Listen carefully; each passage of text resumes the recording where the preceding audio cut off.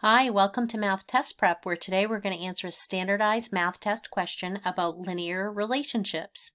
Our question is, this table represents a linear relationship between x and y. Based on the linear relationship in this table, what is the value of y when x is equal to 4? So we're told it's a linear relationship, which means that we have a constant rate of change. So we're noticing here from negative 6 to negative 4, add 2 and that's going to continue add 2 since it's a linear relationship. So we're going to add some rows to our table. So if we keep going in this pattern and add 2, we're going to get 0 plus 2 is 2, 2 plus 2 is 4. Now let's identify the rate of change in y. Negative 3 to negative 2 is add 1, so we're repeatedly adding 1. 0 plus 1 is 1, and 1 plus 1 is 2. So therefore, when x is 4, y is 2.